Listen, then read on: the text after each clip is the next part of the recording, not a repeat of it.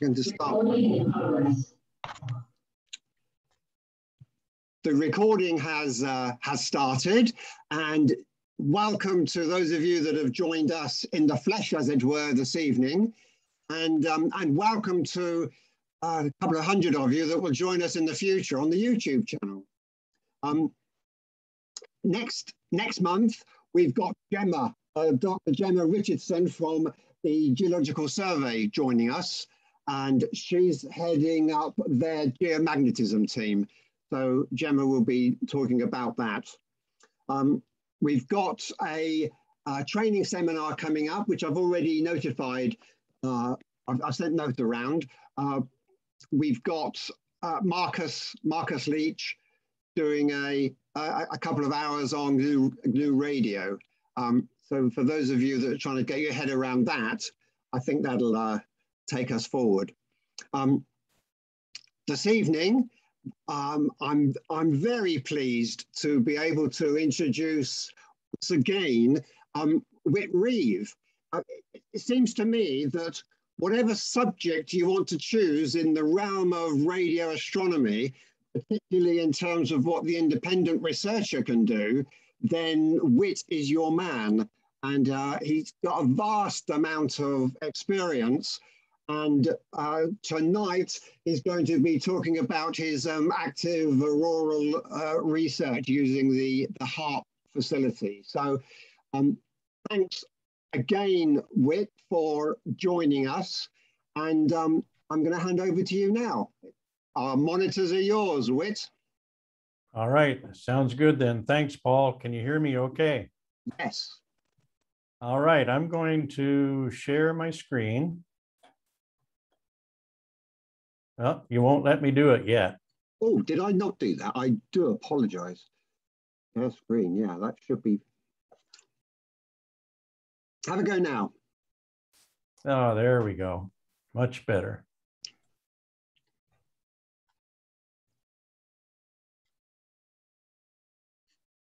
Okay, you should be able to see uh, PowerPoint. Yes, that's working. And now you should see full screen. Indeed. Excellent. Everything seems to be working okay.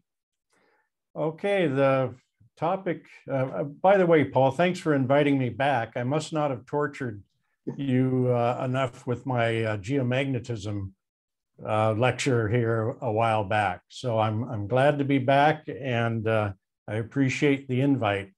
I'm going to talk about the high frequency active auroral research program that's uh, up here in Alaska and that I'm involved in. And um, so here's kind of a list of what I'm going to go through today. I'll, I'll tell you, tell you a little bit about who I am and what I do. And then we'll get into the HAARP, what it does and how it does it. And we'll look at some photographs of the uh, facility that I've taken over the last maybe five years or so. And uh, I've got a list of web links and references at the very end that if you're interested uh, in, in getting those, I can send them to you separately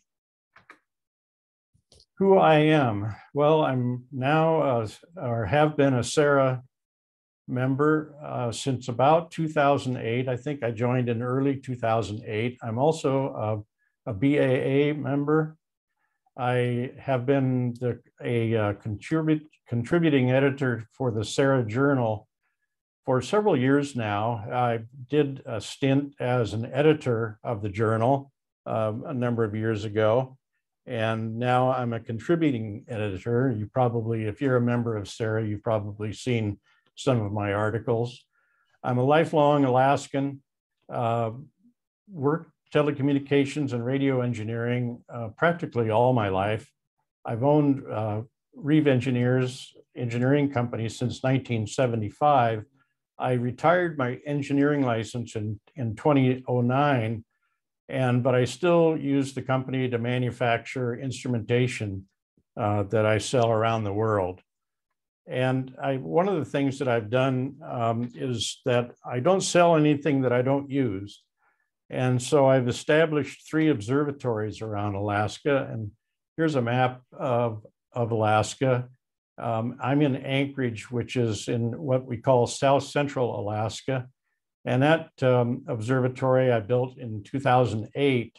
And it works as a local control point for remote observatories, one at a in a small rural community called Cohoe, uh, that's southwest of Anchorage.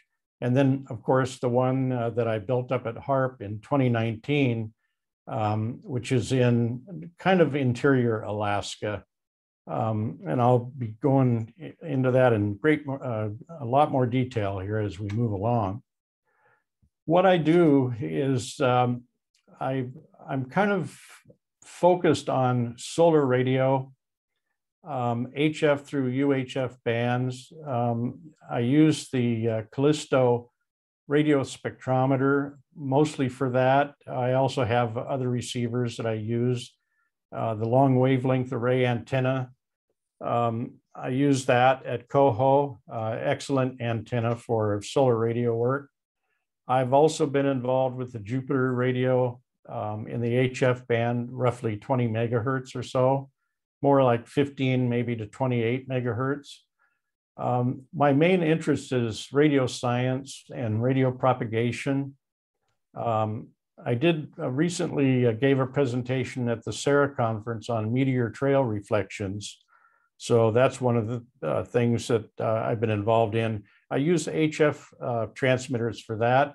Uh, our WWV and WWVH time and frequency stations, they're both about 4,000 kilometers from Anchorage, and I use those for meteor trail and aurora reflections. And then, of course, the uh, geomagnetism using the SAM3 magnetometer has uh, been a big project for me. And I support the Space Weather Underground program uh, that's um, the University of New Hampshire and the University of Alaska participate in. I first got involved with uh, HAARP um, back in uh, 2016 uh, about a year after the University of Alaska took over the facility from the uh, US Air Force. And um, they, they had open houses uh, in 2016, 17, and 18. And you could do a self tour or they had uh, guided tours as well. But I chose to do the self tours uh, because I was interested in specific things and um, and so spent all my time basically by myself walking around looking at stuff. Um, I wrote a bunch of articles about HAARP, uh, about the uh, tours and, and uh, open houses.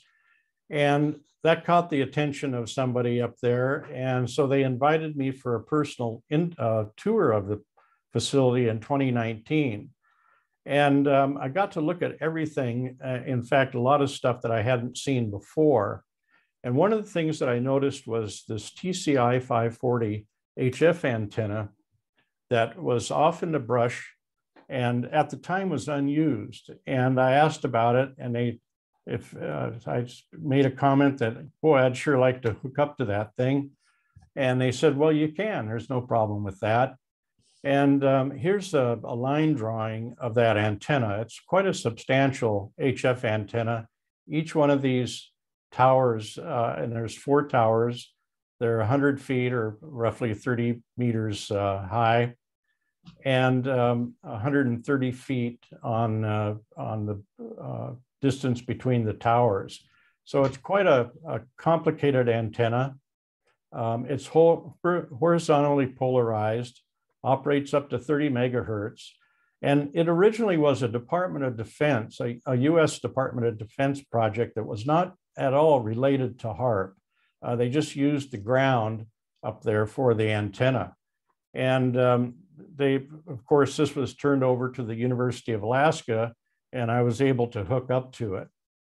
Um, I, I, used um, the Callisto solar radio spectrometer with it, and, uh, and plus a, specially designed up converter of one of my own designs that operated from four to 40 megahertz. And uh, uh, that I ran that for um, a couple years until uh, spring of this year. the US Naval Research Lab uh, wanted to use that antenna for a project they had going. And since I support everything that goes on at, at HAARP, uh, that was no problem with me. So we converted that antenna to a transmit antenna in uh, for the NRL in the summer of 2021, and they used it in a research campaign here just last June.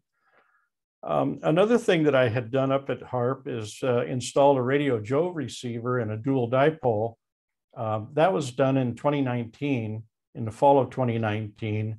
And since it is um, near the TCI antenna and um, the NRL was using, was transmitting on that antenna, we decided to, to decommission Radio Jove and relocate it and that's what I'm uh, heading. I'm headed up to HAARP on Tuesday next uh, to work on reinstalling Radio Jove, dual dipole, a new LWA antenna, and the Callistos, and hopefully I'll get at least part of that done next week. Okay, HAARP. What what does HAARP do? Well, its main job is to transmit uh, really, really powerful radio waves into a fairly localized area of the ionosphere directly above the facility. And it works at altitudes, um, uh, or the altitudes of interest are uh, in the, in the uh, D region all the way up to the F region, uh, 350 kilometers altitude or so. And the frequencies that are used are important characteristic frequencies or their harm harmonics. And I'll mention that a little bit more here in a minute. Now, the radio waves that are being transmitted up into the ionosphere transfer energy to the electrons up there and uh, raise, raising their temperature. And then a lot of interesting things happen when you do that. Now, these clouds of electrons expand, um, but they, they can't just uh, randomly expand. They're forced to expand along magnetic field lines. And up at HAARP, the magnetic field um, is quite steep uh, at about a 76 degree angle uh, coming out of the uh, uh, ionosphere into the ground. Some of the things that happen are you have these uh, field aligned irregularities, and that's where the electrons are, are lined up with the uh, magnetic field lines and kind of bunch together and do all kinds of interesting things, including radio wave scattering, uh, propagation effects, and so on.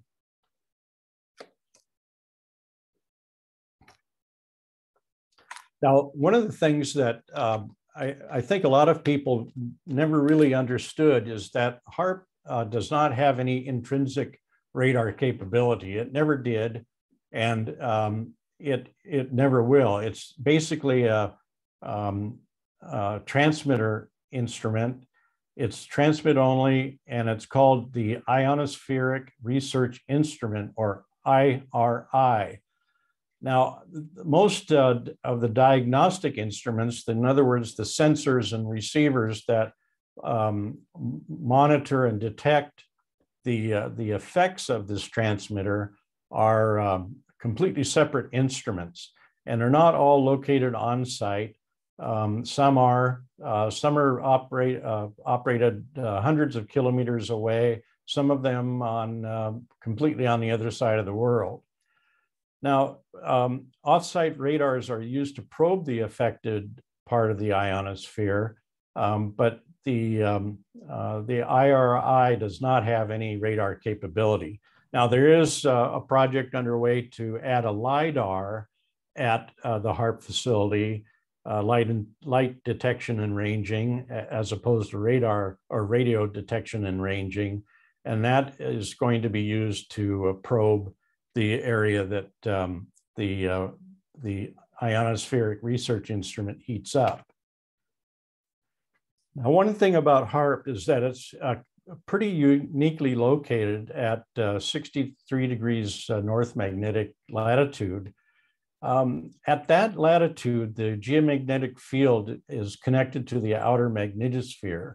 And um, the, when you have any kind of a disturbance in the magnetic field, in the magnetosphere, the auroral electrojet, which is a current system in the ionosphere, um, is basically directly overhead at HAARP. So there's a lot of cool stuff that you can do um, having that those characteristics. Now the ionos, uh, ionospheric research instrument, the IRI, um, adds energy to the ionosphere at important frequencies. And it's so that so a, a, name given to it is an ionospheric heater. And if you read some of the scientific papers that have been produced as a result of HAARP um, research projects, you also see the term HF pump or high frequency pump. And uh, so it's basically the same instrument. It's, it's uh, the, the heater, the so-called heater.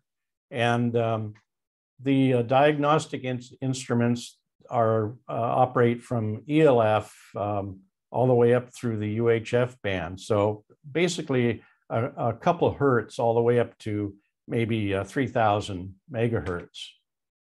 Now the important frequencies that I keep mentioning are uh, the electron plasma frequency, which is related, directly related to the electron density, which is something that can be affected by the, by the instrument. We have the gyro frequency, which is uh, related to the magnetic flux density. And then we have the collision frequency between the electrons and neutral atoms and molecules in the atmosphere. So most of these frequencies, the electron, plasma frequency, the gyro frequency are fairly low. They're in the one and a half megahertz uh, band that varies with uh, conditions. And uh, so the, the instrument itself operates at, um, at harmonics of those frequencies uh, because the lowest frequency that the, uh, the transmitter can operate at is 2.7 megahertz. So it's basically uh, the second, third, and fourth and fifth harmonics that we're looking at, uh, depending on the conditions. Now, some of the things that it can do um, is uh, in this graphic, I'm showing the, uh, the HAARP instrument down here uh, at the bottom, uh, and its uh, radiation envelope reaches directly overhead. And when it heats the, the area of the ionosphere shown uh, roughly between 200 and 300 kilometers altitude, um, we have these uh, field aligned irregularities that form along the magnetic field lines. And the magnetic field lines are the slope lines that you see um, here in that, in that area. And some of the things that can happen when you do that is that um, you'll have scintillation uh, at UHF from uh, satellites, for example. So if this satellite is overhead and transmits through these field aligned irregularities, you'll have up to sec, uh, 16 dB scintillation um, in the UHF band there. Now, the 16 dB is a number I pulled out of a paper. That's the biggest number that I've seen uh, produced by uh, these irregularities. Uh, usually it's smaller than that, maybe 10 dB or, or so, which is still a significant number. Um, another other things that can happen are maybe satellites are transmitting and using these irregularities as reflection points. And um, uh, that can reflect down to a receiver on the ground.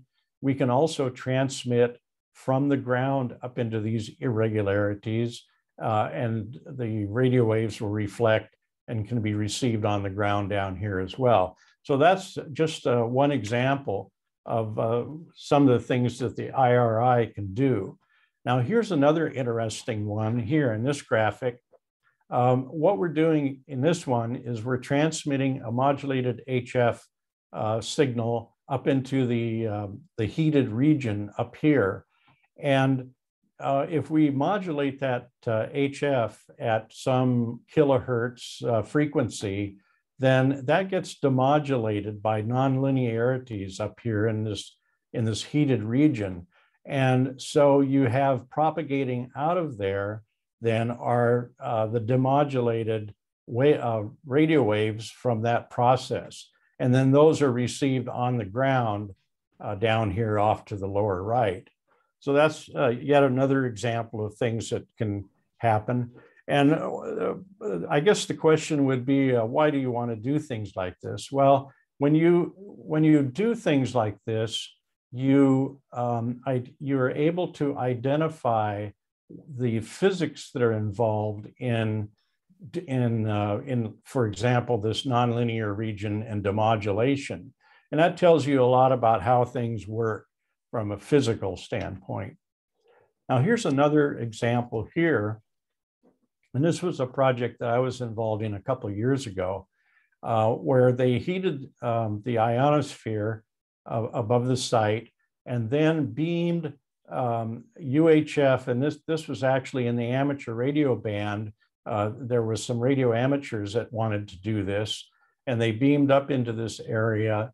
And what, the, the, what they were hoping to get was um, the, the, uh, the difference frequency uh, between what was transmitted, the, the transmit frequency, and the HF carrier frequency, which I show as, as F sub zero or a, uh, F naught here.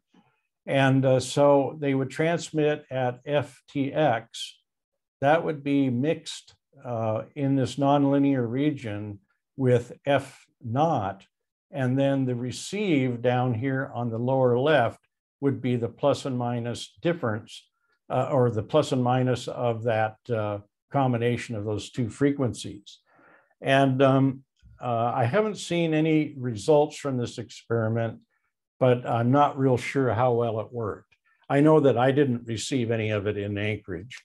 Uh, I could certainly see the transmitter um, here in the lower right, but I couldn't see, uh, I couldn't receive any of the, uh, of the receiver end of it. Now, another thing that um, the HAARP does is it modifies the conductivity in the uh, D region of the ionosphere uh, by using uh, certain frequencies uh, that match the D region, uh, electron density, and so on. And uh, then they use optical and infrared cameras and riometers and mag magnetometers as well to probe these uh, areas that are being affected there. So that's another science uh, uh, thing that they do up there.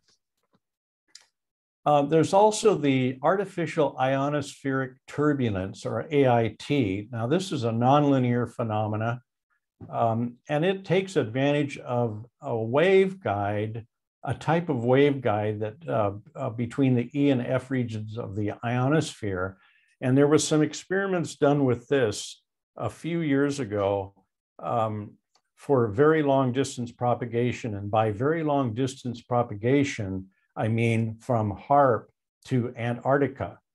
Um, and that's uh, what, uh, 15,000 kilometers or something like that. It's a very long ways.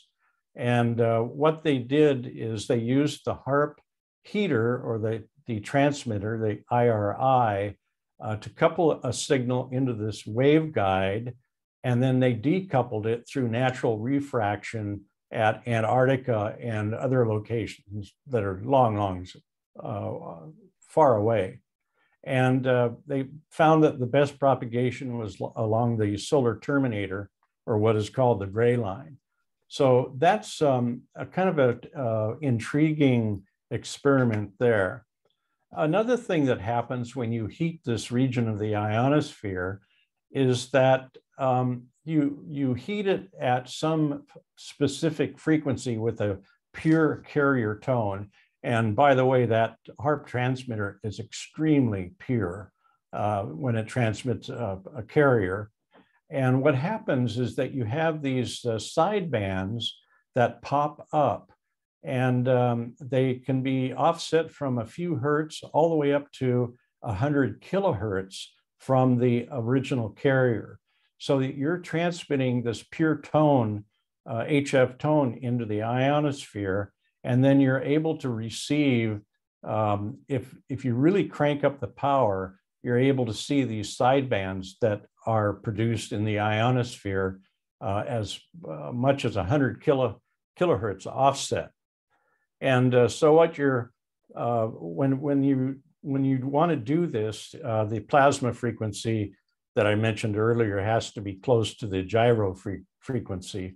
And I, I don't personally understand the physics behind this, but it's still a pretty intriguing um, thing that comes out of the prod out of that process.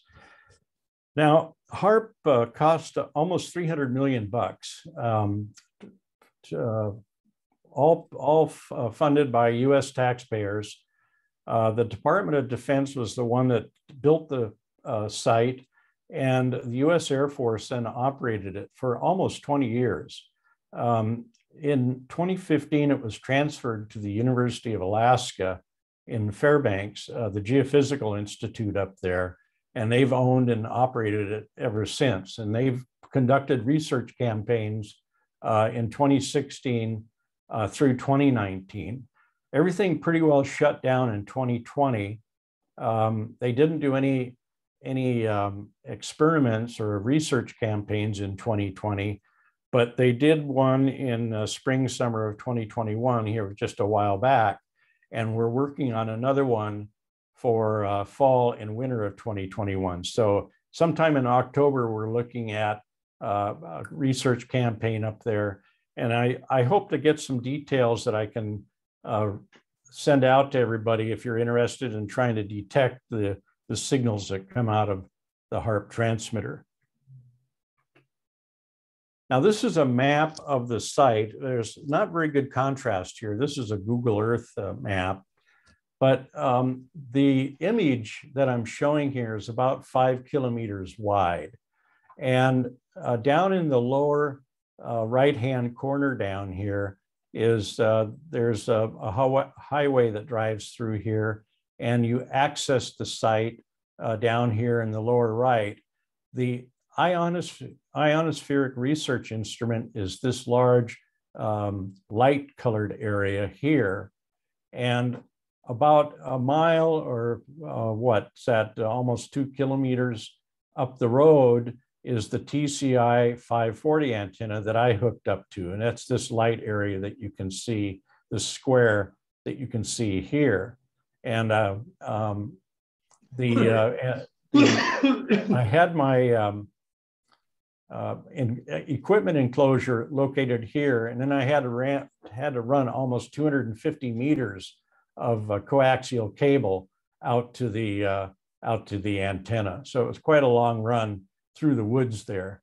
And uh, I had to put it in plastic pipe uh, to keep the porcupines and foxes from chewing it up. Um, if you continue up the road here another mile or so, uh, there's some magnetometers and the optical domes and so on are uh, up up there. So it's it's pretty it's a pretty large facility and um, uh, really interesting to to visit.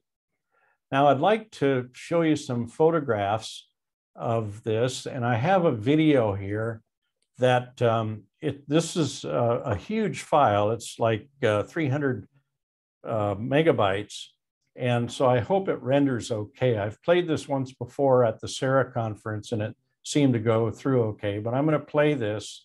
And if I can get control of it, I'll uh, try to, to um, uh, pause and explain what, what you're seeing. One of the things that you see right here in the foreground is uh, a good example of some of the uh, infrastructure that, that holds this whole thing together. Now, this is the uh, IRI in the background here. These are the cross dipole antennas that you see in the background. But here in the foreground is a, uh, uh, a thermal pile.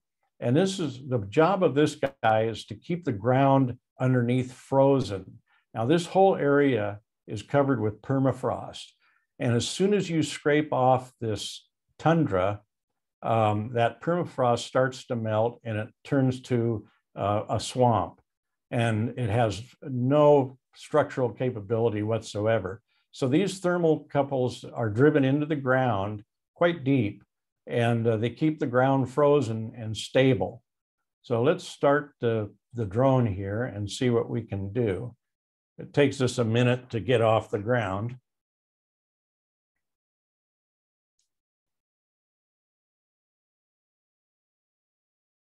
Okay, there we go.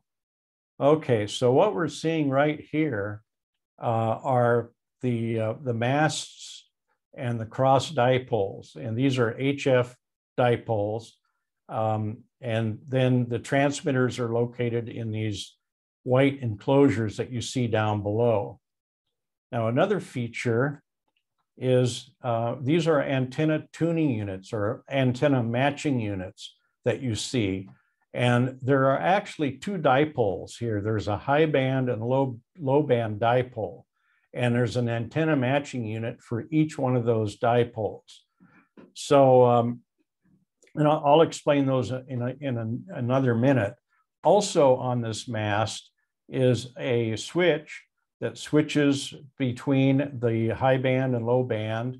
Um, there's these, what they call even mode load units. And these are uh, basically large resistors, uh, dummy loads, that um, because of the proximity of these dipoles, these, these operate in the two and a half or 2.7 to 10 megahertz band. So you can see they're very close in terms of wavelength. And uh, these match these um, uh, even mode load units then dissipate the uh, interact the uh, coupling between these adjacent antennas, dissipates them as dissipates it as heat. So as we fly over, whoops, sorry about that. I clicked the wrong thing. We'll have to look at that again.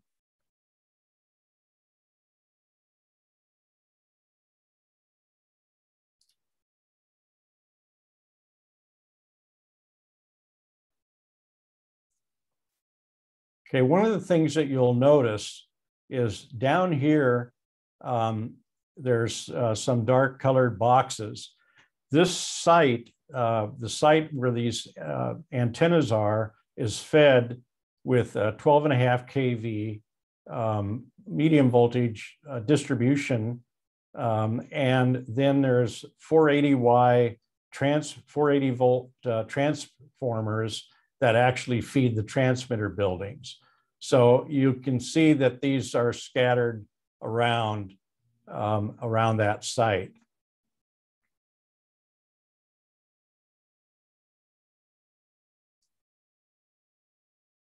And these white enclosures, again, those are where the actual transmitters are located. There's 30 of these uh, enclosures with the transmitters in them.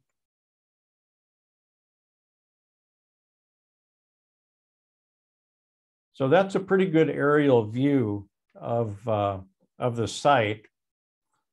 Um, one of the questions that always pops up is how do you keep from getting cooked? Now you can actually walk underneath this, um, uh, the IRI when it's in full operation. And one of the um, things that was done a number of years ago when they first built the site is they spent, um, I think, almost a month up there making measurements everywhere on the site, um, operated the transmitter at full power, and then made um, uh, RF radiation measurements to see what the levels were. And um, as it turned out, the um, the radiation levels, the RF radiation levels on that site uh, were pretty much negligible if you were underneath the, ground screen below the antennas. In fact, they, uh, I was told by one of the people that was involved in those measurements that um, the, the field strength from a local AM radio station, uh, 15, uh, so either 15 or 20 miles away, uh, was higher than the radiation uh, at ground level produced by the, by the instrument itself. So it's, um, it's a pretty safe place to work. Now there's 180 cross dipole antennas. That means there's 360 dipoles out there. And um, so that means you have to have 360 of everything. Um, they're identical in every way. It's in a 12 by 15 matrix uh, on the site. You have 360 transmitters. Each transmitter is uh, uh, full power uh, 10 kW. Um, and that gives you a total of 3.6 megawatt maximum total uh, transmit power. Now those antennas have gains, so your effective radiated power is going to be higher than that. I'll show you that in a minute. Now these transmitters are all automatically and continuously turned when uh, tuned when in operation. And uh, this can happen very quickly. Uh, they can change frequencies very quickly. And uh, uh, so everything is operating, um, each one of those individual transmitters is operating on its own under control of, uh, of the system. Now, this is the dipole configuration and um, I mentioned that there was a high band and low band. Uh, this uh, left-hand drawing over here is shows the high band dipole. It's the darker uh, lines that you see. Um, the, the uh, lighter colored lines are the low band dipole shown here in the middle. And um, the, the, uh, the physical distance of, of this uh, of the low band dipole from tip to tip is 21 meters. And over here, I'm showing uh, the composite drawing of both the low and high band and with the switches and uh, even mode load units, antenna matching units. Now here's the ground screen, uh, ground screen here, and it's about five meters above ground level and um, it goes extends 12 meters beyond the perimeter. So you'll have a mast. This ground screen will extend out beyond that by about 12 meters. So uh, uh, it's quite a substantial ground screen, and it's above ground. So you walk when you're on site, you're walking underneath uh, the ground screen. This chart here shows the HAARP facility with respect to other high powered transmitters around the world. And um, it's the blue line here at the top. And you can see that the um, it's not only the most powerful transmitter in the world, but it, um, it it's a humongous power. I mean, this thing is at 10 megahertz uh, is capable of putting out uh, 95 and a half dBW. So um, uh, qu uh, quite a far cry from, from say, a, a 100 watt uh, amateur radio transmitter, which is uh, what, 30 D, 10 dBW. Now, I'd like to show you some block diagrams of, of various parts of this transmitter. Um, this is the equipment that's on the tower. Now, I mentioned the high band or the high-low band switch. That's shown over here on the left. And then the antenna matching units uh, are shown here in the middle. And um, uh, I have a photograph of one sitting on a pallet here on, the far right. So this image is uh, of the antenna matching unit that is uh, that the cover's been taken from.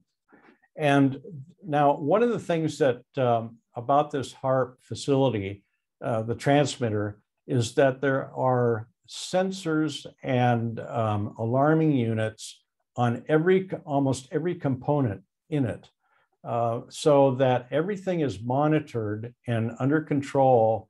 And if there's any problem with any transmitter it's automatically shut down.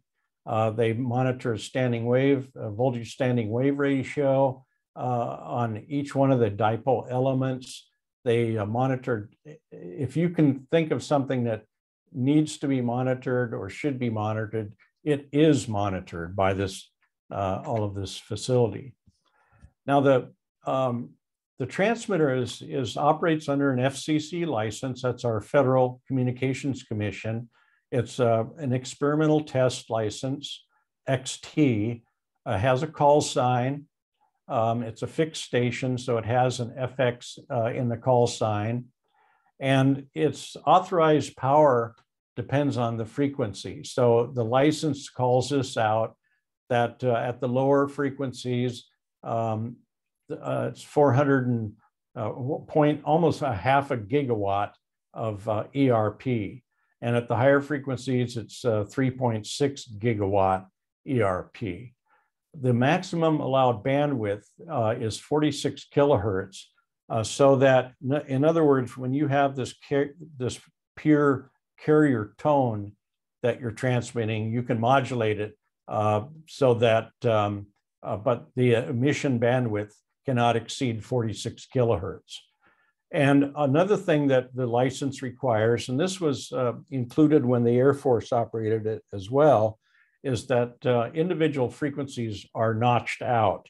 So in other words, that transmitter does not um, actually, uh, it's prevented from tuning to um, specific frequencies. So when you program the transmitter uh, to sweep through a range of frequencies, for example, it will um, uh, it'll sweep through, but then it'll stop transmitting when it hits these uh, individual frequencies that are to be notched out.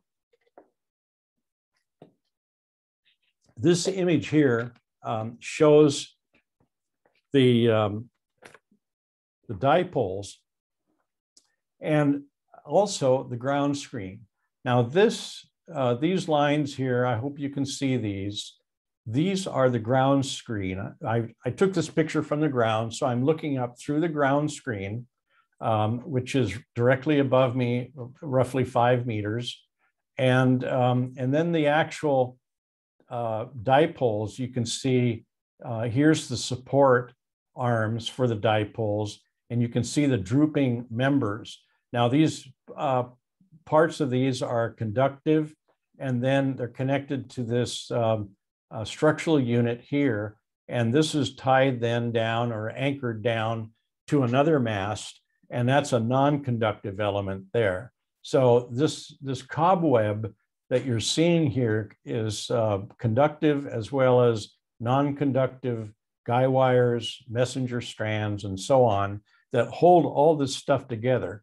Everything is, um, every one of these masts and the antennas are tied to almost every other uh, adjacent mast as well. So that gives you the, the structural, the strength that you need for that.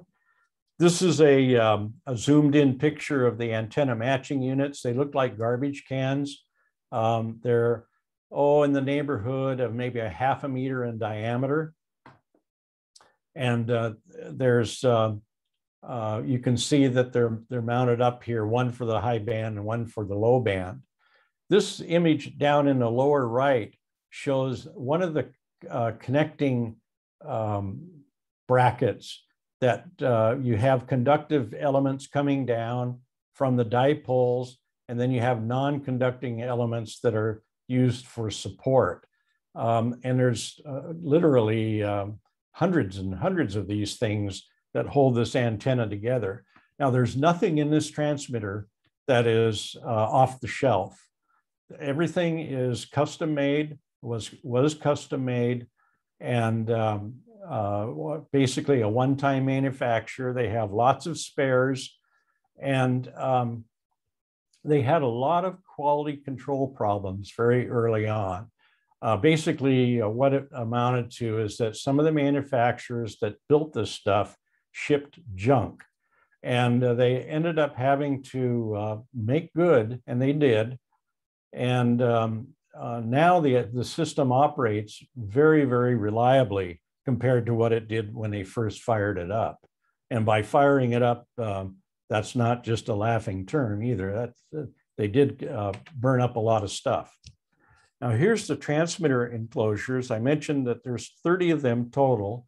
Um, so there's uh, they look like shipping containers, and in fact uh, are modified shipping containers. This is a block diagram of the transmitter. And you can see by looking at this that this is not just a 10 kW uh, box out there.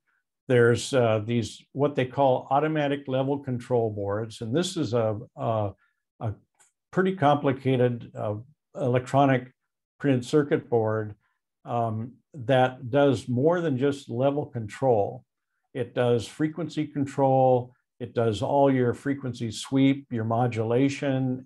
Uh, basically, everything comes off this board. You have an RF input uh, that comes in at 10 milliwatts. And the first thing it goes to is a 50 watt driver. And um, that adds some gain. And then that goes into a one kilowatt intermediate power amplifier and through a bypass switch where they can actually bypass the 10 kW power amplifier if they want to. And there's a lot of times when they want to do that. Basically, uh, they just want to uh, send a signal up.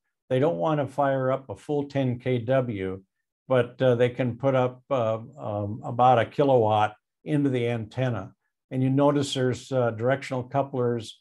Uh, these were, are where they tap off the signal, monitor it, alarm it if there's any kind of problems, um, and so on. And then you have an output switch.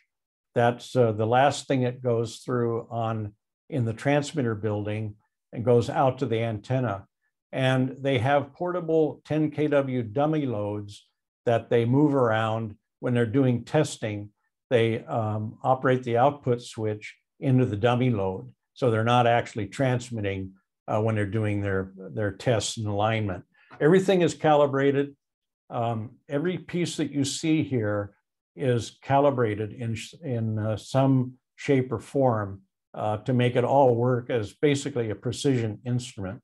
Here's a, an image of uh, the 50 uh, watt driver amplifier. That's this guy right here, if you can see my mouse. Um, but that's the 50 watt driver uh, that is uh, shown down there.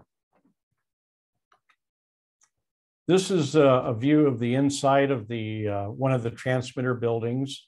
And um, over here on the left, the covers have been removed. And this is actually an, an inductor, a variable inductor here. It's not a coil. Um, uh, let's see, do I have a photograph of that? I don't have a photograph of that in this presentation, but basically what it does uh, to make this a variable inductor is it has these shorting bars.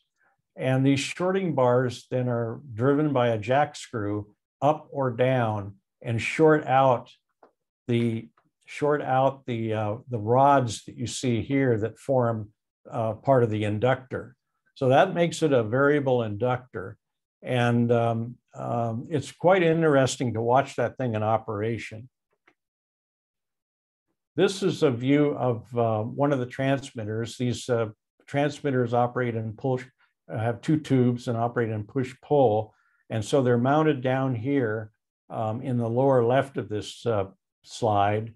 And you see these chimneys here that carry um, uh, the air. Uh, it's forced air cooled and it carries that air uh, to the out, outdoors.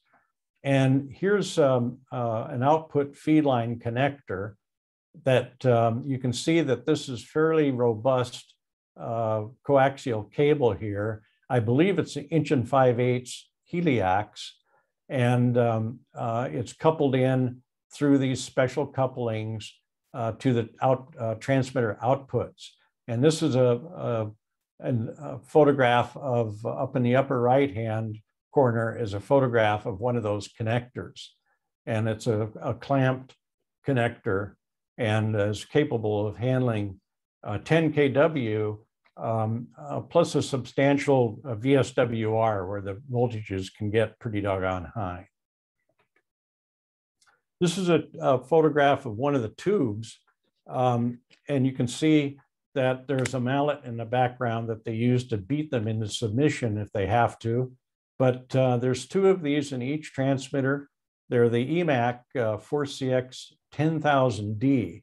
Now, um, that line of tubes have been around for quite a long time. I, I can remember working on uh, uh the 4CX, I think a 400, which is a 400 watt version of that. And that goes way, way back. Here's a 50 watt driver under test. Uh, they have all of this test equipment on site. They do all of their testing, calibration, everything on site. Uh, uh, an awful lot of their repairs they do on site.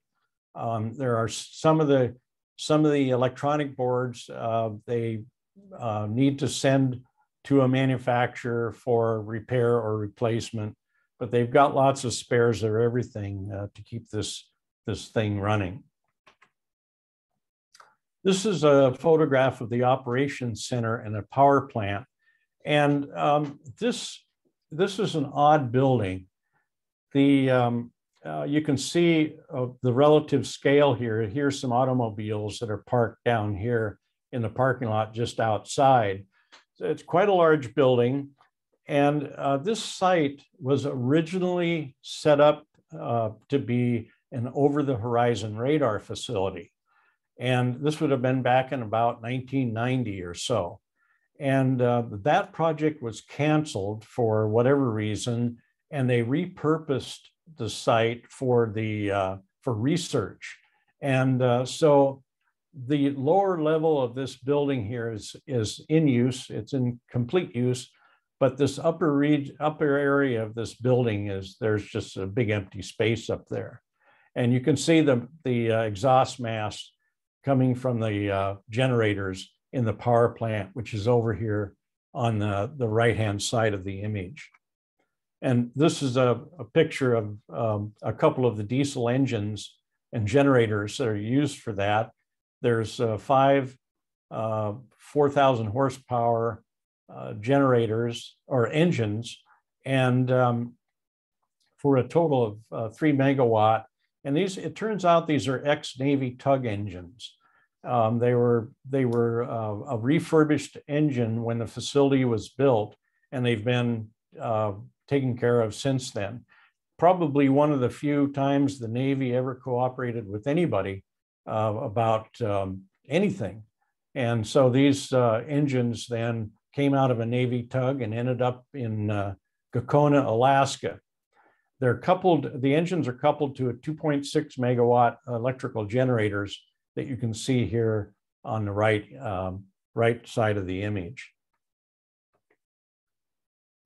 This is a picture of the operations control center. All of the uh, uh, the the chairs and and uh, desk and everything have been moved away for the pic for the uh, picture, but uh, this is where everything is operated. Um, the the site uh, can some some aspects of the site can be monitored remotely. But uh, basically, when they're running this transmitter, they've got somebody here that's uh, in charge of, of making it all work. Now, uh, when you're transmitting into the ionosphere and heating it up and so on, um, what, what about uh, all of the stuff that happens as a result of that? Well, those are called, uh, that's called diagnostics. And so you have these diagnostic instruments, and um, they identify and characterize the physical processes that are going on in the ionosphere when this thing is in operation. There's a, a, whole suite of instruments that, that are used to measure the effects. And you can actually, um, uh, if you go to this website here, they uh, a lot of this data that the diagnostic instruments produces is online. Now this uh, this is fairly new. They we revamped the website just recently. I think it was uh, uh I think we started doing it in uh, the fall of 2020, and uh, so now almost everything is online now. So you can actually go there and get HAARP data now uh, something that you couldn't do for several years after the Air Force uh, bailed out of the site. There's magnetometers that are on site. Uh, there's some of the experiments involved um, affecting the, uh, the, the, local magnetic field, and those are uh, monitored and measured uh, by magnetometers. There's, there's flux gate, flux gate magnetometers there's a search coil magnet uh, or induction magnetometer on site as well. Um, again, this data um, from this site is online. And if you go uh, to the previous, uh, uh to the website and go under the magnetometer field or tab, then uh, you'll see there's a selection of locations and Gakona is the one that corresponds to HAARP.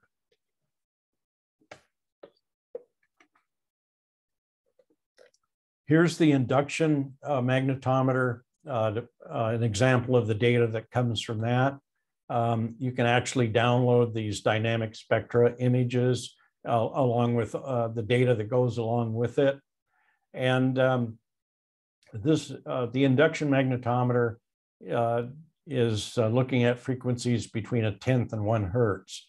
So uh, very low frequency type stuff. They also have uh, what they call rapid run magnetogram.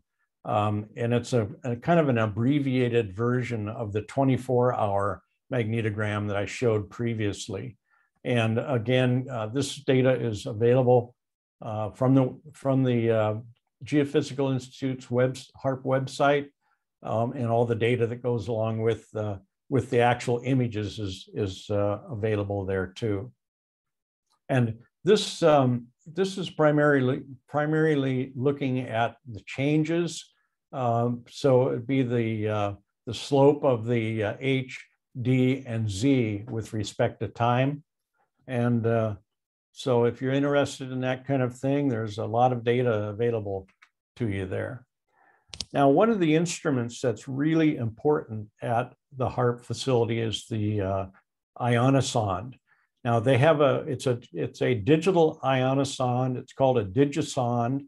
It operates under a call sign. Um, like all uh, in the US, uh, they have to be licensed uh, in some form or another. And what it does is measures the height profile of the ionosphere. And it's really important for the frequency management of the IRI because the uh, transmit frequency of the R, IRI depends on the plasma frequency and gyro frequency and so on. And they need to know what those are uh, to transmit. So they're almost making frequency de decisions almost in real time um, when this thing is in operation. It also, the Digisonde also operates as a diagnostic instrument. So in other words, they, they uh, might modify the ionosphere above the site and the uh, Digisonde then is going to measure that, uh, the amount of that modification. So it's kind of a, a feedback loop.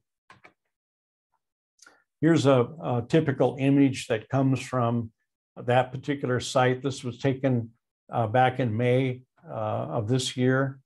And um, it shows in this particular one shows uh, altitude from 80 kilo, kilometers uh, up to 900 kilometers.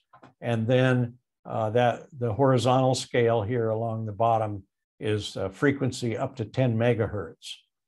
So you can see that things are happening uh, in the neighborhood uh, below five or six megahertz in this in this particular um, uh, ionosonde.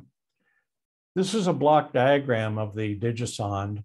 Um, there are receive antennas, there's four of them in a triangular shape, and then the transmit antennas are across um, inverted V dipole antennas.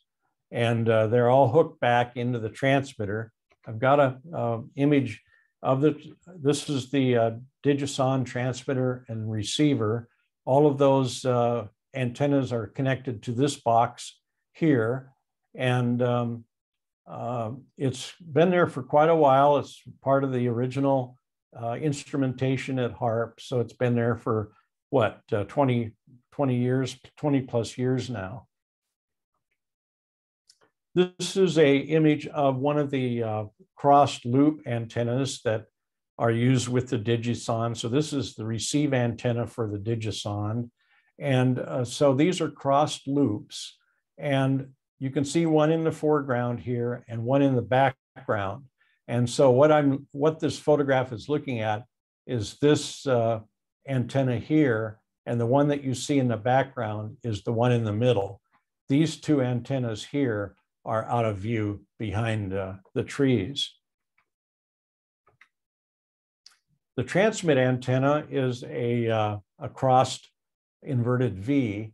And um, you can see, if you look very closely at this picture, you can see three towers, uh, three of the five towers. There's one in the foreground here, one uh, in back, and then you can just barely, barely see one uh, quite a ways back in the back there. And then there's two off to the side that, that are out of the picture.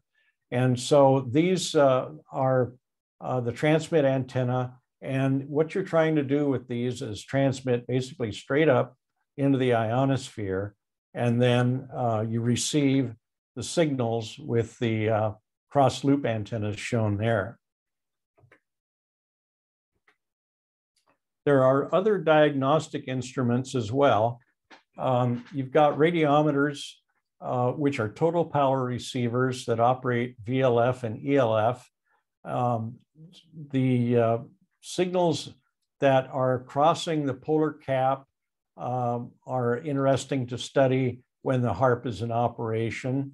Um, you're also interested in, in, the, in the radio noise background. And there's a, a Japanese university that's, that has um, uh, a radiometer on site that um, uh, is in full operation 24 7.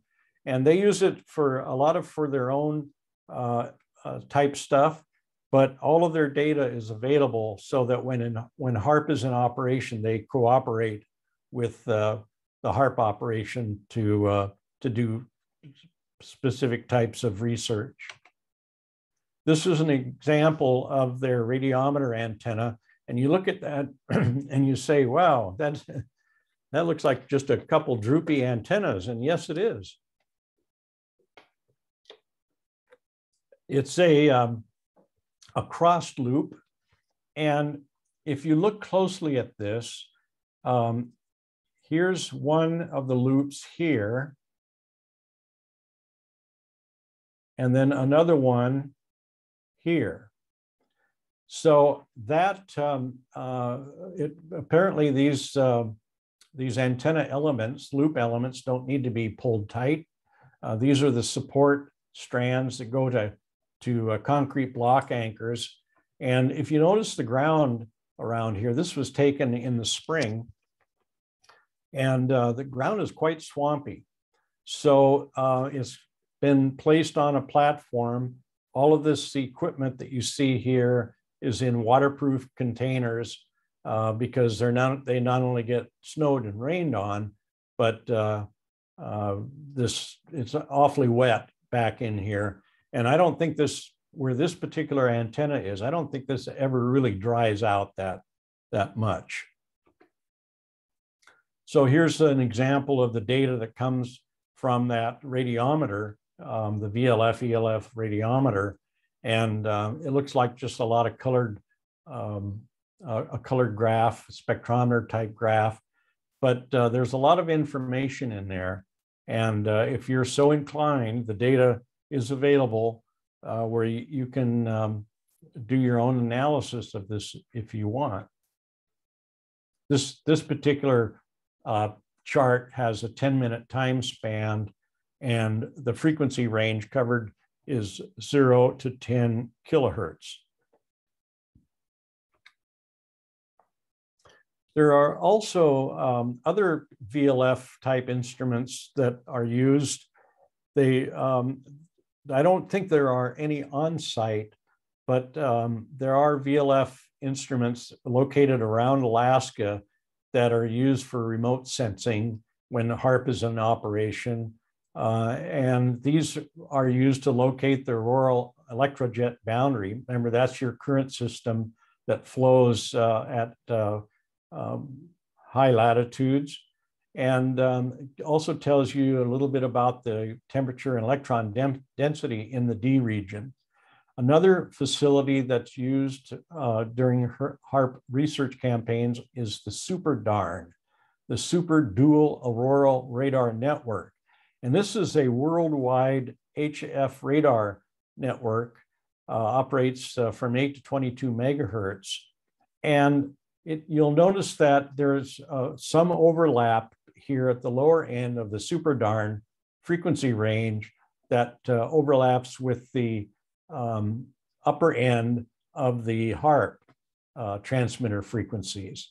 Now, there are three SuperDARN sites in Alaska, only one of them, and that's on Kodiak Island, which is uh, uh, south of Anchorage. Um, it is the one that covers HAARP. So when HAARP is in operation, the SuperDARN is used to gather uh, details about the ionosphere that's being altered by the HAARP uh, uh, HF pump or the, the uh, heater. There's also riometers on site. A riometer is used to measure the galactic radio background. There's lots of names given to that. Uh, I've got some of them listed here, galactic background radiation, uh, galactic radio noise, cosmic noise, cosmic noise, radio noise, and so on. Um, and this measures, uh, uh, has a background or a quiet day curve when things are, um, there's nothing going on in terms of cosmic radio noise. And then it becomes elevated uh, because of some kind of uh, activity uh, in the ionosphere. And um, so this instrument then is used with the HAARP during research campaigns uh, to see what, what's going on there. And this is mainly uh, D and E region absorption that's measured at 30 megahertz. Of course, there's optical instruments up there as well, because one of the one of the things that they do is make artificial aurora, and uh, or they call that uh, air glow. And uh, these imaging instruments um, at HAARP are used to photograph that and study it and so on. There's also uh, optical imaging instruments in other locations in Alaska that are able to see the ionosphere above HAARP, and they use those to triangulate um, and determine characteristics of the of this so-called artificial aurora. And it's also used uh, even for natural aurora as well. This is one of the uh, um, domes that's used with the optical instruments. It's closed up uh, when this, this uh, photograph was taken. There's uh, several, several of these uh, on the site. There's other instruments that are used um, to make this whole system work together. And that's, uh, they have aircraft radar, they have a, uh, a TCAS, a traffic collision avoidance system, aircraft detection system up there. And these work together to automatically shut down the IRI if there is an intrusion. Um, usually it'll be some wayward uh, pilot in a Super Cub tooling along and um, maybe gets into uh, the area. And if it's detected, then the transmitters automatically shut down um, if that airplane comes in that area. And um, this is a photograph of the of that part of the facility. You can see the radar antenna. This is an ordinary marine radar uh, uh, transmitter receiver that uh, is shown here. And, um, and then you have your TCAS, here's your GPS antenna. There's probably five or six, maybe even seven GPS receivers scattered around the site um, so that everything is operating in lockstep. So this is a really important part of that facility is uh, for detecting those wayward pilots that, that might have not got the word. Now, before every uh, research campaign, the Federal Aviation Administration in the US sends out what they call NOTAMs or notices to airmen and uh, says that uh, don't go flying into this area. And it gives the specific details of that, uh, the times, the dates, and so on. Um, but not everybody gets the word. So they have this uh, radar and TCAS to uh, shut down the facility for those people that don't get the word. Now there's uh, some uh, non HAARP instrumentation uh, on the site. There's uh, one GPS receiver. I, in fact, I shared an enclosure with, with a GPS receiver that was used for measuring total electron content. And that would be the uh, basically the electron density between the, the GPS satellite and the GPS receiver on the ground. Now, this um, photograph down in the lower right here is that riometer antenna that I showed earlier.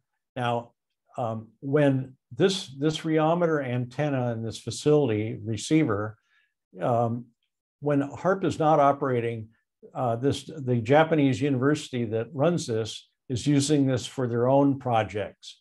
So this is really a non-HAARP um, uh, type uh, experimental campaign that's going on. But when HAARP is in operation, then uh, they do they do share and cooperate. So not everything on the HAARP site is is uh, directly related to HAARP. It's um, basically available for research. Um, there's power, there's internet. Um, it's a rural area, so it's electrically quiet and so on. So it's really attractive um, for, for something like that. And in fact, that's one of the things that attracted me to it was the, the quiet rural um, area. Now, what about citizen science? The um, uh, there was a campaign in 2017 where the uh, HAARP transmitter was used to, to demonstrate this, the so-called Luxembourg effect um, as a crowd-funded funded experiment. Now, this was something that uh, takes advantage of nonlinear effects in the ionosphere when you have a, a very uh, high-powered transmitter uh, that affects the ionosphere. And as far as I know, that was a successful um, uh, campaign. There was another one in 2018 where the weak signal propagation reporter, the whisper protocol, protocol was invoked um, on the HAARP. And then uh, it, the, uh, the WSPR uh, project was used to observe what stations received the transmission. And so they, they were able, even though this was citizen science uh, type project, uh, was some real science that came out of that. So the, the WSPR um, is extremely low speed uh, FSK type um, modulation. And um, they actually programmed the HAARP transmitter to, to, uh, to do that. There was a, a, campaign in 2019 where that was funded by the uh, an arts council council in Canada. And um, uh, the lady that got the funding from the, the Arts Council came up to the HAARP facility and um, she had these uh, a list of experiments that uh, uh, that they paid for, and it turned out that not only did she get her art out of it, um, this is a, a, a, brain scan here uh, that she transmitted with the HAARP transmitter, but um, even though this was a, an arts council project or funded by an arts, arts council, uh, there was actually science observations uh, that, that came out of this. So um, she cooperated with uh, the scientists uh, up there and um, they were able to, to take advantage of heating the uh, ionosphere uh, for this for these slow scan television type transmissions that, that they were making. Okay, well, so that pretty much brings me to the end. Um, here's some uh, links here. The, uh, the HAARP homepage is, it's easy to remember. It's uh, just haarp.gi.alaska.edu. And from there, then you can get to um, a, a, long list of uh, publications that have been produced as a result of uh, experiments that the Air Force, the Navy, uh, uh, universities, and so on have done at HAARP since uh, 1990s. So those uh, the the list is online. Not all of the pu publications are directly accessible. You have to search for them separately. Um, and of course, I have um, uh, I've written oh probably at least a dozen articles on HAARP, and that's on my website, uh, uh, reeve.com. You can go there and, and hunt around and, and find these articles uh, for that. And uh, by the way, the I'm showing um, the HTTP uh, here. Well, last night I converted this to HTTPS, uh, so it's uh, using a, um, a secure type setup now. That just changed within the last 12 hours. So that's pretty much it. Um, I'll be glad to take questions if you have any. I'm going to what I'm going to do is I'm going to unshare Paul and um, then if you got any questions, I'll be glad to take them. We do have a little time for uh, questions this evening, uh, one or two perhaps.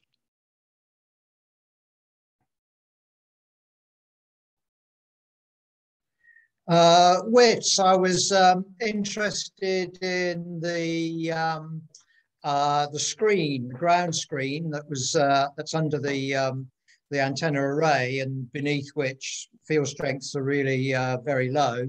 Um, was that is that of the form of a mesh, and uh, is there any any feeling for um, the the size of the mesh?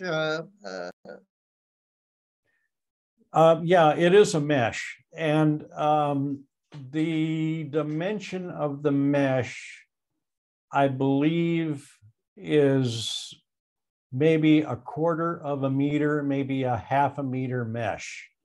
Um, it's not. It's uh, one of those uh, the images that I showed. In fact, let me, Paul, if you'll let me share the screen again, I'll go back. You should have it. Okay, let's see.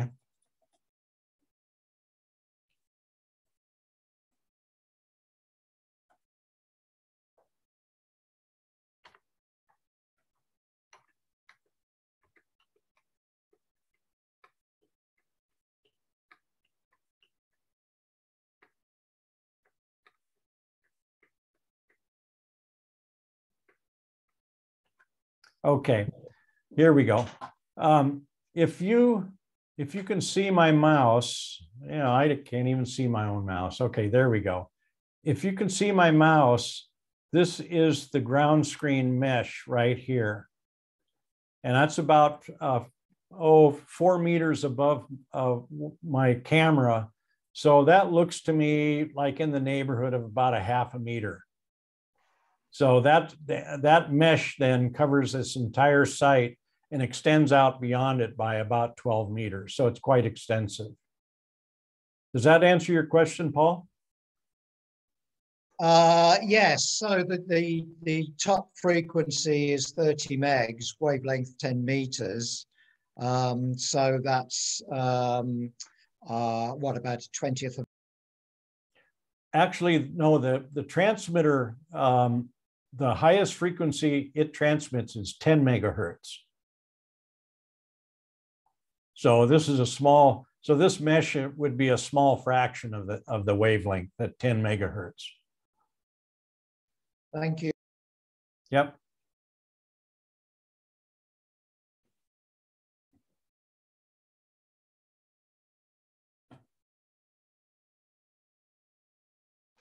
Do we have any more questions?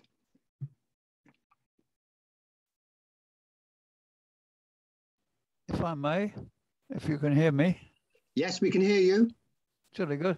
Um, I went to a fascinating visit on a visit with an astronomy society to Cambridge to the Mullard Radio Astronomy Observatory, and there was a technician there who um, gave the tour, a very good chap, um, talking about HAARP, and we looked at a one unit that he was had apparently worked on.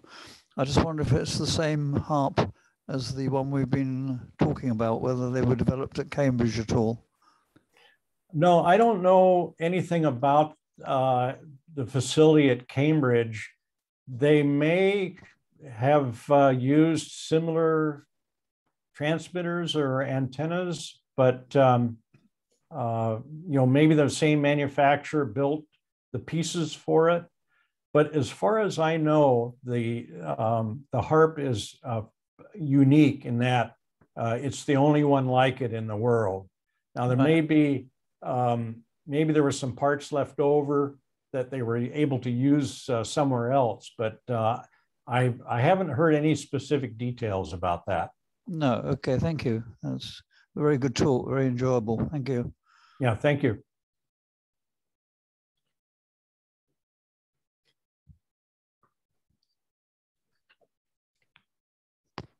Any more questions? Otherwise, we shall move on. Okay, I'm going to stop sharing then, Paul. Okay. All right, thank you. Most excellent. Yes, thank you very much, Whit. That was that was really interesting. Um, moving on to something completely different. Um, we've got a day conference coming up in October, and I would just like to hand over to uh, to Paul Hyde, who's got a few things he wants to say. Paul, it's yours. Okay, thank you very much. Um, so I'm just uh, bringing up the uh, relevant screen. Um,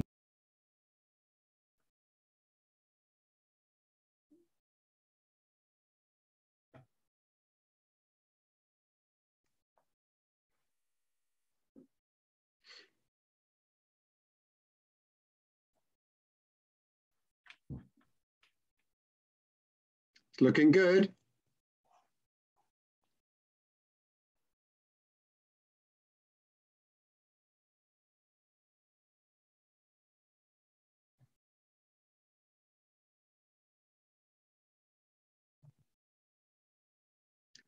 Oh, Paul, you've muted yourself.